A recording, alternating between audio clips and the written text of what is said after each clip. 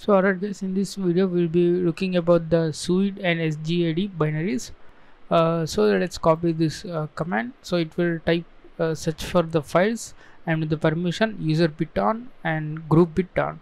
And then upon searching the those binaries and this uh, path gets executed. That is the ls minus l. That is full path gets uh, shown for these binaries. And we are outputting the standard error to dev null. Okay so let's uh, type ls minus there so first i will explain about the uh, suid and sgid suppose uh, think uh, uh, this file sorry okay think this file as an executable file. So sometimes uh, one user want to execute a command as a root user so in that case administrator reduce this uh, executable bit to s. The administrator sets this bit so that any user uh, can use this executable as the privilege of root user. So that is the advantage of this suid and sgid bits.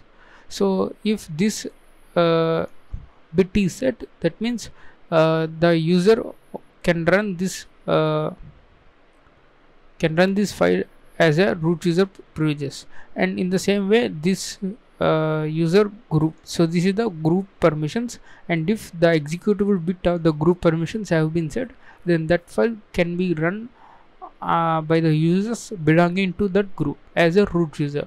So that is the uh, SUID and SGID binaries. So now let's paste this command and hit enter. Now you can see uh, all these bits have the yes on. So that means uh, we can run these binaries as a part of this user or this group. So you can see yes bit. Alright now interesting one is uh, you can see what did they give us the first one. So the exim binary. So you can see there is a exim 4843 so you can copy that and let's google for that exploit and you can see there is a local privilege escalation with this one. And let's see. So you need to so you can just execute this uh, script file. So this contains this code. So okay i think they have already pasted here. Let's go to cd tools.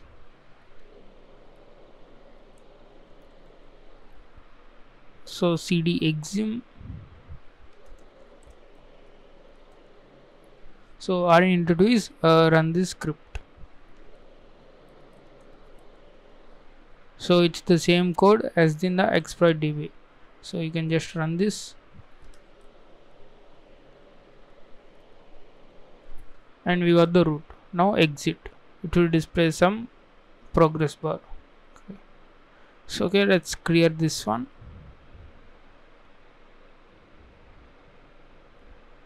so the next minute we are going to take advantage is uh, this bin sudo so sudo so let's copy this.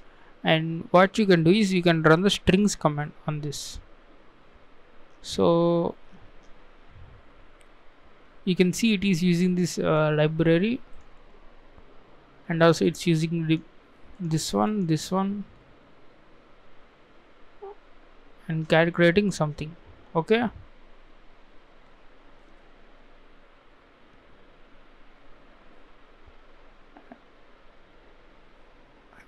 and you can see what they have given is and we need to find libcalc.so so libcalc uh, library. I don't think we are seeing in this but I think we picked the wrong binary. So it's correct one. We should see libcalc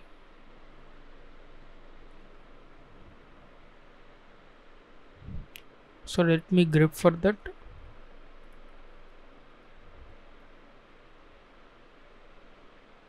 okay it's in the okay you can see here i'm sorry. Home user dot config dot so. So let's go to the home directory.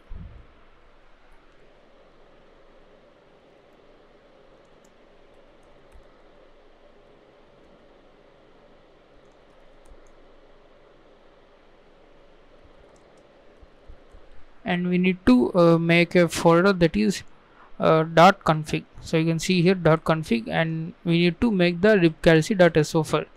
So all right um, now what we can do is uh, they have given some c code ls cd suite. So here this is the c code. So let me with the contents. It's simple uh, the bash shell so you can see here setting the user id as 0 and then pawning the bash. Okay now let's compare this. So we need to compare as a shared object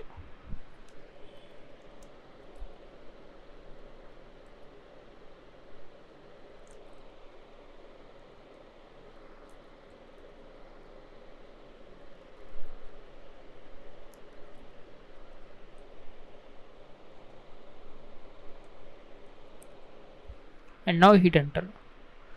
So now what you can do is you can run the sudo and then copy this one. So upon execution it will load the shared object from this uh, configuration folder and then executes our code and hit enter now. So type in the password and hit enter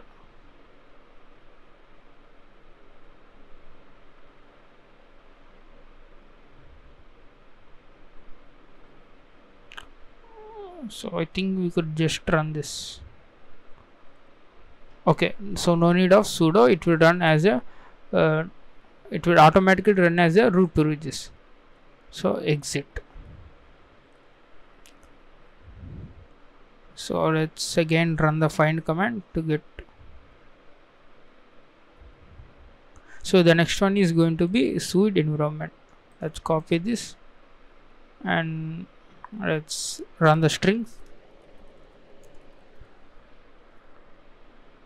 so it is now running this service apache to start okay? So we can type the bin bash version. So it's saying 4.1 here they have mentioned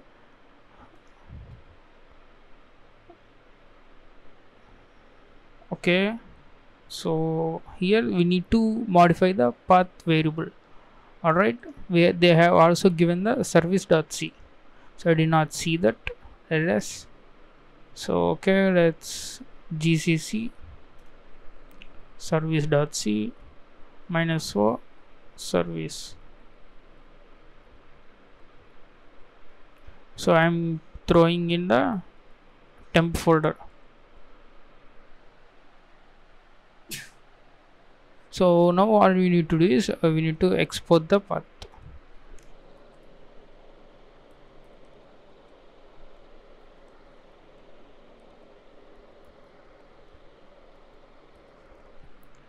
so now the path first uh, contains the temporary tree and then this remaining path. And now we can run this one. So we can run this and we should get the root shell. So exit this. So the next binary would be environment 2 okay? So here what we are going to do is in bash version less than 4.2 we can create a own function and we can name that function as this usr sbin service so let's do that so this one copy this and run the strings. So it is using this uh, full path. So we cannot modify the path variable. Instead uh, we can modify we can create a new function. Okay?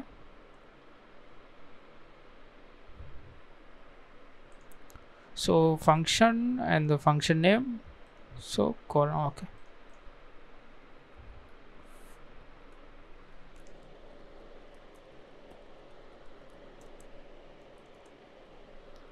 so you can also write a reversal here.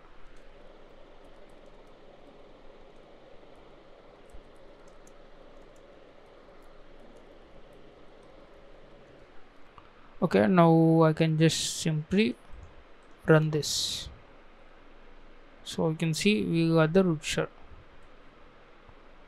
So the last binary we are going to see is the environment 2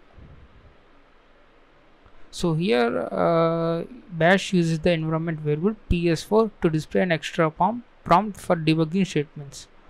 Alright now we can change this ps4 path to this one. So you can see we are copying the bin bash to that uh, another copy of this root bash in the temp directory and then we are giving the uh, we are setting the user bit. So okay I can just simply copy this export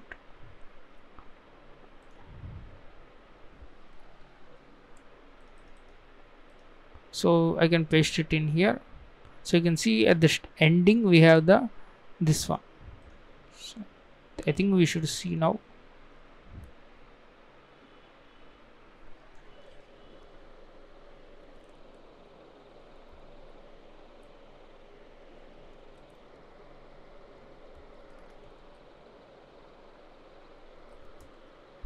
So you can see uh, this is the function service function and it contains the code bin bash p.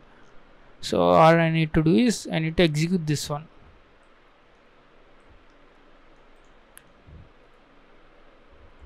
So we got the root shell.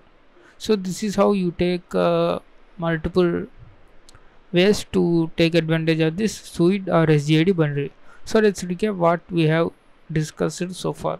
So when we have the permissions we can just search for the exploit db and we have get the root shell okay? And then we came to know that this suite so binary has been using the uh, shared library and we created a fake uh, C script that can just simply pawns a bash shell. And then we compared into the shared object and then uh, we placed it instead uh, of that uh, original binary. So there should be original one. So we created a bash and we create we kept there. So we got the root shell and then modifying the path variable. So whenever the binary is using uh, not using the full path and it's using the normal path so then you can change the path variable. And then here we create a new function because it's using the absolute path full path.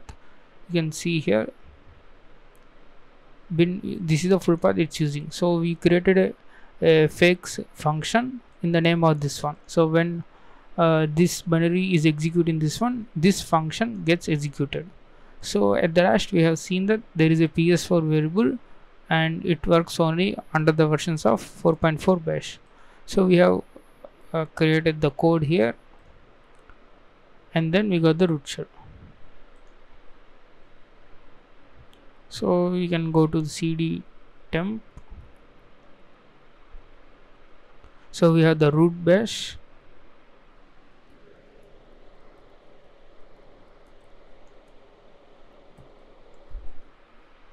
Okay. So that's how you take uh, multiple ways to get uh, root shell with when you have the suite or sgid binaries on